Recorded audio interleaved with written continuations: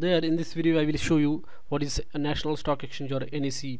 so NSE is the national stock exchange or a stock exchange uh, in India second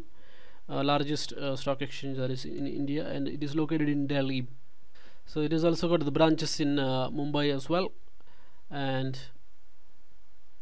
it was founded in 1992 so this is very recently founded uh, exchange and total number of companies listed on this NSE are 1696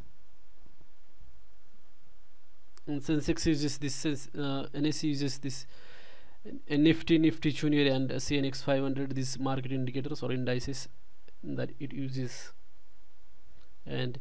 even if you want to uh, buy or sell the shares you can just open a demat account with any of the demat providers in India and then buy and sell shares on the NSE or BSE. Thanks for watching.